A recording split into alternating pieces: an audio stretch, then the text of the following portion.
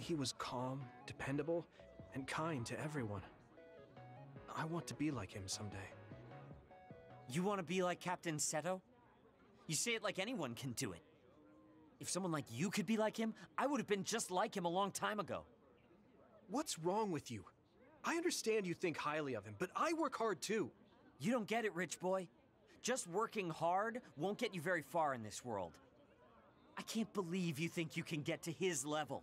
You have no idea what you're talking about. Fine, I won't say it anymore. You got your gift, so I'm out of here. Hey, wait!